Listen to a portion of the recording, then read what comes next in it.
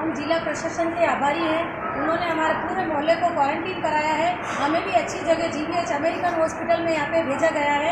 हम Covid nineteen ward से बोल रहे हैं। लेकिन प्रशासन ने हमारे लिए बहुत अच्छी व्यवस्था कर रखी है। लेकिन यहाँ के मैनेजमेंट ने खाने की व्यवस्था बिगाड़ दी है। दो दिन से हमें इतना गंदा खाना दिया जा रहा है और आज तो हमें ऐसी खट्टी खट्टी दाल दी है की सवेरे की दाल दाल दी है। अब हम इसको कैसे खाएँ? परेशान हो गए अब सभी जने परेशान हो रहे हैं। हम भूखे मर रहे हैं अंदर। खाना भी ढंग से नहीं दे रहे यहाँ पे और बोल रहे गवर्नमेंट से आ रहा है। गवर्नमेंट से ऐसा खाना आएगा क्या?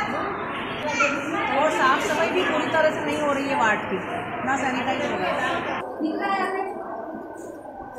ये देखिए सवेरे मैंने स्टाफ को बोला है कि यहाँ से पोछा लगाओ। फिर भी कोई सुनता नहीं है कितनी गंदगी है यहाँ पे देखो सब तरफ़। ना कोई अंदर आके कुछ साफ़ सफ़ाई करता है। हमें बोलते हैं आप कर लो साफ़ सफ़ाई। पोछा हम कहाँ से लगाए? कहाँ से लाए पोछा?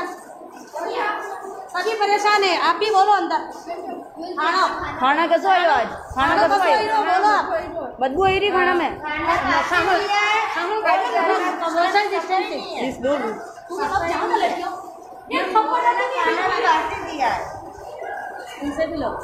खाना खराब आ रहा है ना?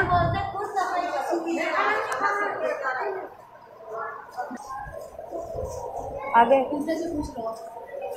कि आपसे खाना खाया जा रहा है खाना खा दो आप आज। इनके काम वाले इनके काम निकाल अच्छा सभी जनों का खाना ऐसे ही पड़ा है बासी खाना है इसलिए हमने आज किसी ने खाना नहीं खाया है। आपसे रिक्वेस्ट है हमें खाना ढंग से दिया जाए वरना हमें हमारे घर पे छोड़ दिया जाए। हम वहाँ पे हो जाएँगे क्वारंटीन हमें यहाँ नहीं रहना। तो यहाँ के और ज़्यादा बीमार हो रहे हैं हमें। फ़ूड पॉइजनिंग हो जाएगी कौन ध्यान देगा? वैसे भी कोई स्टाफ अंदर आके हमसे नहीं पूछता है कि आपको क्या प्रॉब्लम हो रही है तो हम किसको बोलेंगे? हाथ जोड़ के बोल दो आप प्रशासन से ये आप प्रशासन से निवेदन है की आप हमारी खाने की व्यवस्था सुधरवाओ इनसे।